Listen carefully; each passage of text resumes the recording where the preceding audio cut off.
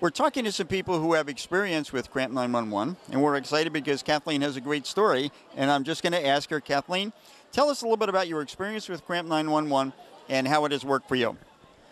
Uh, I use it often. I've been using it for about two years now, and I keep uh, it right aside of my bed for leg cramps at night if I get a leg cramp. I also use it for my back. I have uh, painful back, and it helps with that too.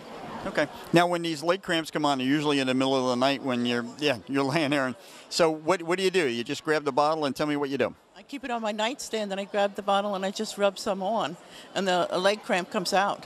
Okay. Now, about how long does it take from the time you rub it on? A Minute, not not too long. Great.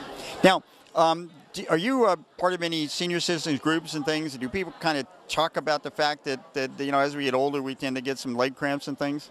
Yes, I did mention it different groups too. Mhm. That's great. Well, thank you very much, Cathleen. It's wonderful, and she has such a delightful husband over here, but we didn't let him in.